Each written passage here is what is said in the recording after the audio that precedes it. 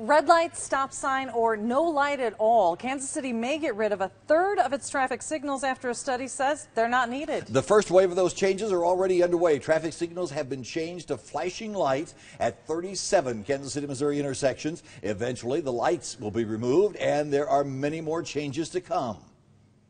We've identified an additional 144 throughout the city uh, that we are still reviewing, and those will be the next set. We probably won't start those until summer of 2013. Meanwhile, the first batch is already causing concern for Kansas City citizens. KMBC 9's Peggy Breit is live with that part of the story. Peggy.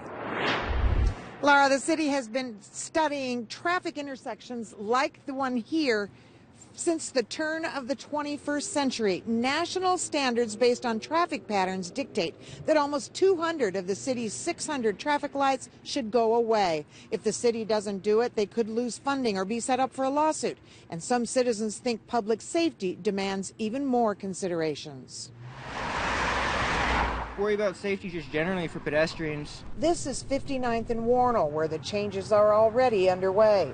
Stoplights on 59th Street will become stop signs, and Wornall will have no stop here at all.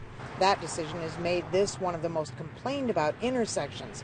Area residents say it could mean big trouble here. If they're going to do it, they should do it to both uh, Wornall and 59th, not just 59th. It makes it much easier that way. The 37 signals have been chosen to change first because the traffic signals are decades old, in need of repair or costly replacement. For the transition, the city is counting on both flashing lights and stop signs. Some motorists find the combination confusing. They're not all the same, and you go to a different stop, and if you're not, if you don't have your mind on what you're doing, you think you should go. Others believe that some of the changes will be good, especially where four-way stops are planned. I think it's better, really, because if it's going to cause less accidents, where everybody has to stop, it can't do nothing but be better for the general public. And the city says it hopes to have these first intersections all changed out by the end of this year.